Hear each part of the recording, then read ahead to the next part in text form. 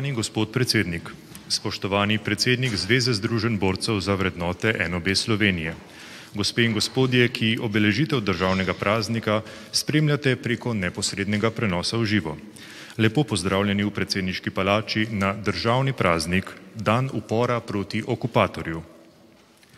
Državne praznike v predsedniški palači tradicionalno praznujemo na dnevih odprtih vrat, ki na pobudo predsednika Republike Slovenije Boruta Pahorja neprekinjeno potekajo od leta 2013.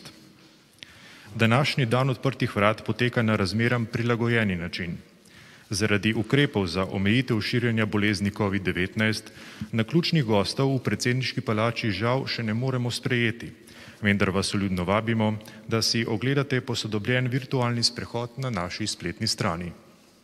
Veseli in počaščeni pa smo, da so se povabilu predsednika Republike Slovenije odzvali predstavniki Zveze združen borcev za vrednote narodno-osvobodilnega boja Slovenije, ki jih prisrčno pozdravljamo.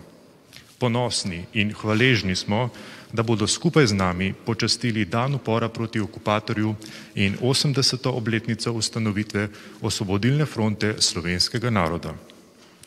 K nagovoru uljudno vabim gospoda Marjana Križmana, predsednika Zveze združen borcev za vrednote NOB Slovenije. Spoštovani gospod predsednik, spoštovani prisotni, hvala za vabilo, hvala, da smo danes lahko del tega praznovanja tu v vaši palači, da lahko sporočimo slovenski javnosti, ob osemdesetletnici naše sporočilo, naše misli, naša razmišljanja in naša pričakovanja. Naj za začetek povem, da smo za ta častitljivi jubilej, osemdeseto obletnico Osvobodilne fronte na Zvezi borcev pripravili spomenico, ki je zajela vse, vse bistvo, vse sporočilo narodno-osvobodilnega boja sedanjega časa in bodočnosti, kot jo na Zvezi združenj borcev in v našem članstvu vidimo. Naša spomenica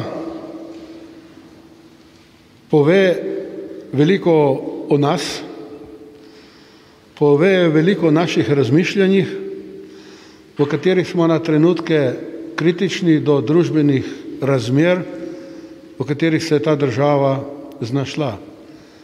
Kritični zato, ker smo člani Zveze združenj borcev, žal še živečih borcev je malo, zato mi, člani Zveze združenj borcev, nosimo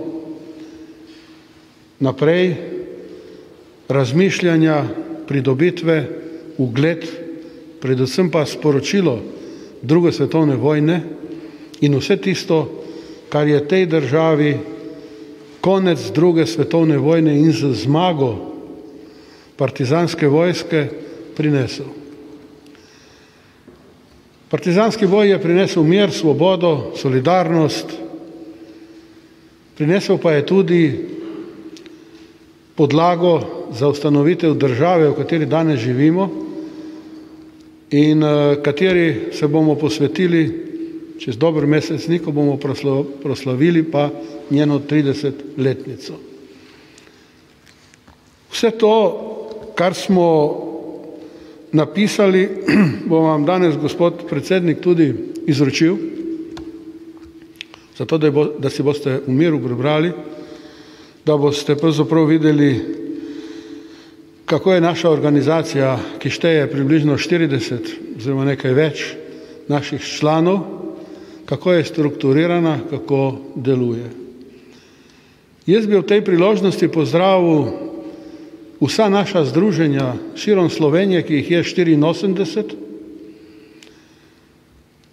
nebroj krajevnih odborov, ki, kot ste videli na včerajšnji virtualni proslavi, skrbijo za spomenike, ki ponaredijo vse tisto, kar je potrebno, zato da naši spomeniki niso zanemarjeni, zato da so naši spomeniki uh, nekako opomniki časa, ki smo ga nekoč, ki so ga nekoč naši predniki živeli. Mi imamo izjemno veliko število spomenikov, približno šest tisoč jih je, oziroma nekaj več.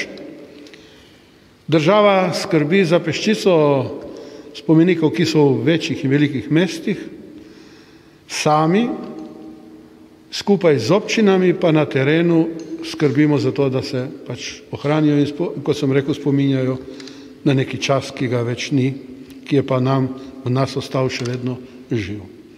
Zato se moramo v tej priložnosti zahvaliti tudi zelo veliki večini županov, ki nam pomaga finančno in tudi drugače pri akcijah, ko je treba stvari generalno popraviti in eh, urediti, pristopijo vedno na pomoč.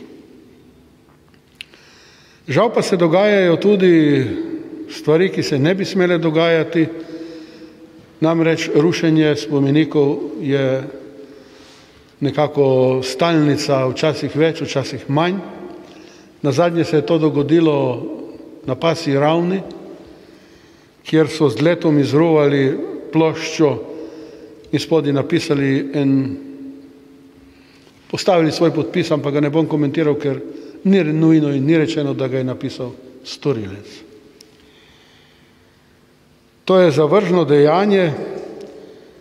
Jaz kot primorec včasih dam še kakšno bolj tako pikro in vročo izjavo, na katero marsikdo se tudi obregne.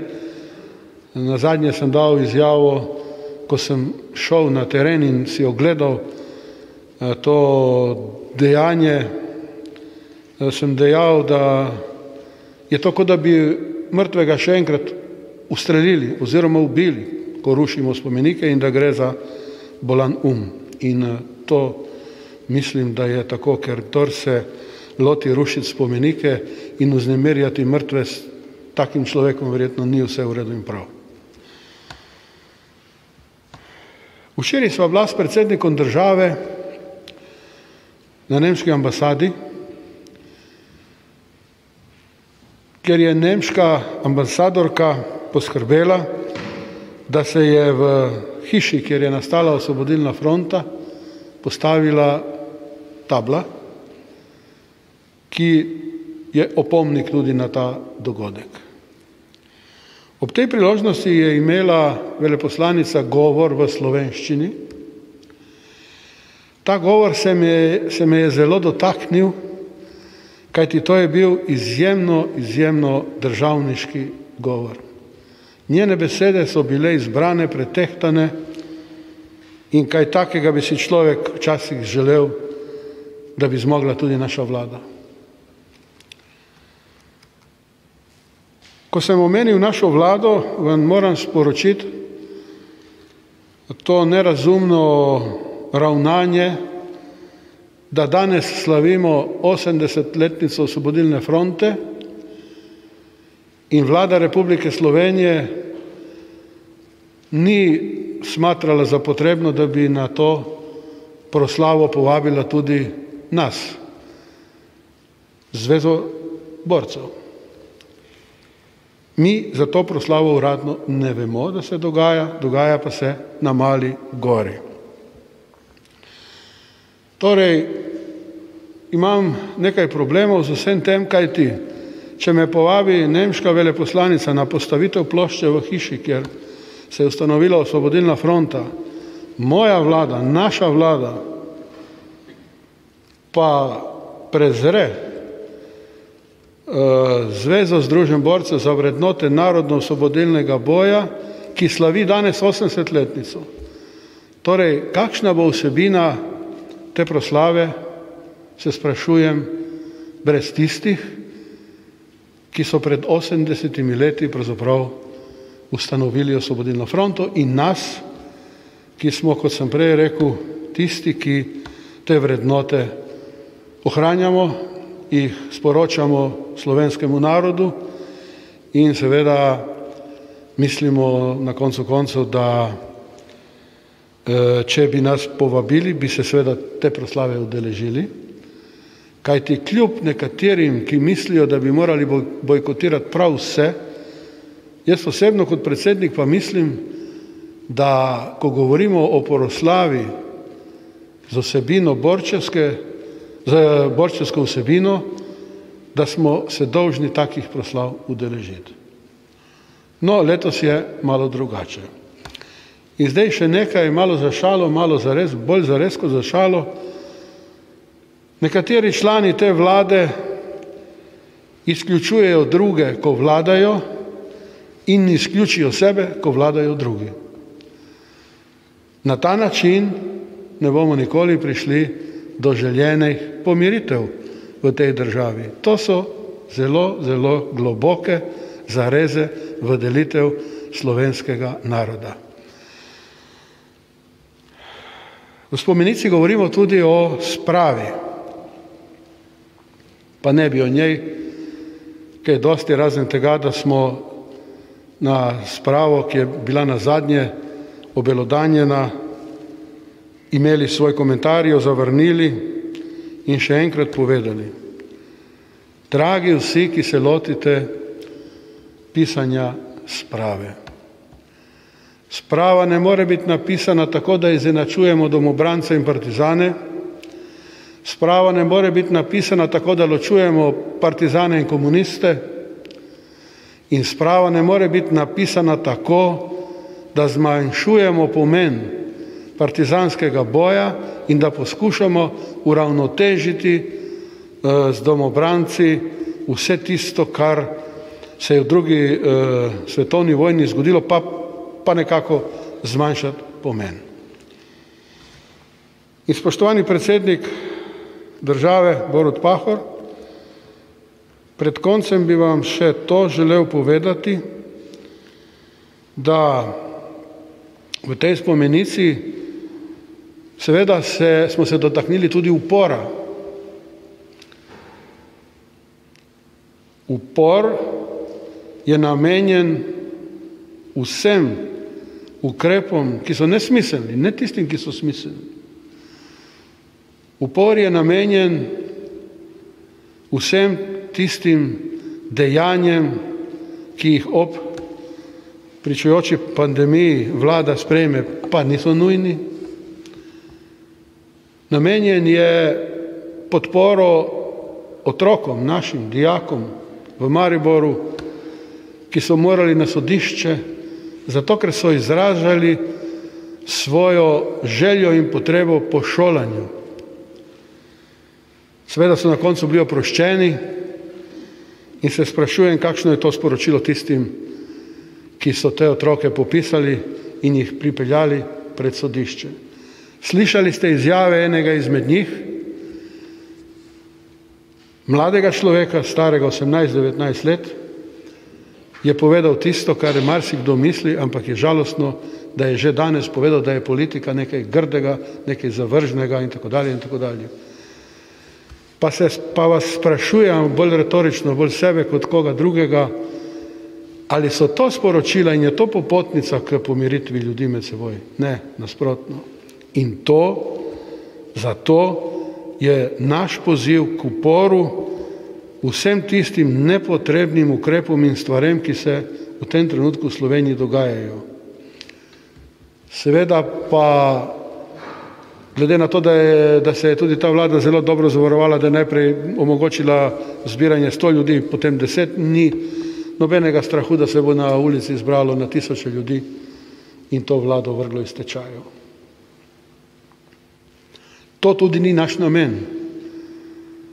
Eh, je pa nekaj, mora marsikdo vedeti, da Zveza združen borcev ni mrtvi ud družbe, da je Zveza združen borcev za vrednote narodno-osvobodilnega boja sestavni del družbe, je ena najmočnejših organizacij, ki sledi in seveda razmišlja ob temu, kaj se v naši družbi dogaja.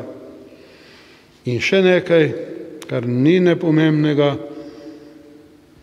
Nova generacija je prišla v Zvezo Združen borcev. Generacija, ki mora z vsemi svojimi silami veliko narediti in žrtvovati za to, da ohranimo ta status, ki so ga naši, ki so ga pred menoj predsedniki ohranili, ampak ti predsedniki so bili generali, so bili partizani, so bili vsi, vsi so imeli v sebi ta naboj moči in ta naboj odporništva.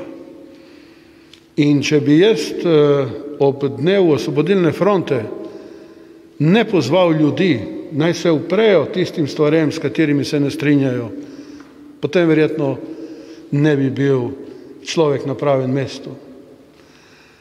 Na koncu so mi povedali, da me je nekdo iz aktualne vlade tudi ovadil zaradi te izjave. Jaz vam pa povem, da če bi me nekdo ali posameznik iz te vlade pohvalil, bi se nad seboj krepko zamislil.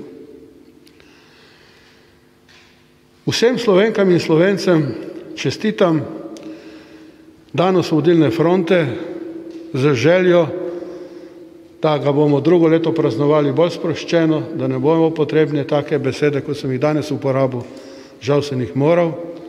Zahvaljujem se za to priložnost, da sem lahko tu danes slovenski javnosti povedal to, kar mislimo v Zvezi Združen borcev. Hvala še enkrat in srečno Slovenija.